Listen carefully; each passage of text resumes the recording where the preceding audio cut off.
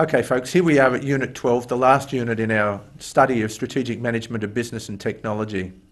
And I hope by now you've got a real appreciation for the fact that whether you spend only 5% of your time being a strategic manager or whether you spend 95% of your time being a strategic manager, it's about how well you get a return on that time invested. And that's what the study of strategy really is about.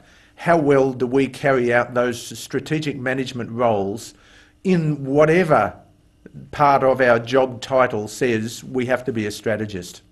So that's what I'm hoping you've got out of it. And the last peg, the last piece of the puzzle is this notion of understanding that for strategy to work, we really do need to manage our relationship with key strategic stakeholders. You've heard me use the term stakeholders again and again throughout this course.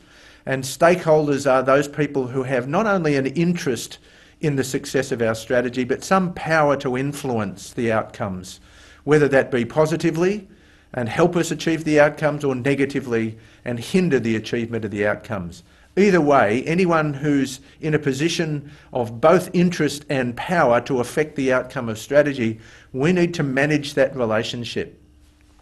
And it's a fairly simple process of identifying who the stakeholders are, identifying their interest in the strategy, identifying their current attitude or uh, perspective or level of commitment and positivity or negativity about the strategy, and then seeking to either support those people who are helping us or change the behaviour of those people who aren't.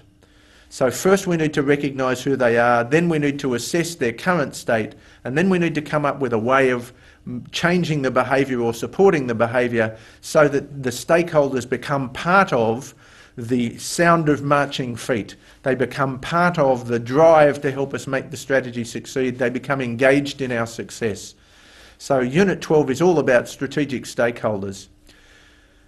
Having said that, I do want to close out by thanking you for your commitment to the subject, by thanking you for your participation in the subject. Uh, I hope you've got a lot out of the subject and I hope you've enjoyed it and I hope you've really also been able to contribute to the enjoyment and the learning of others because that really is one of the keys to success as adult learners but also a key part of the MBT program. I wish you all the very best in your careers coming up after you finish this and in the exam that's to follow.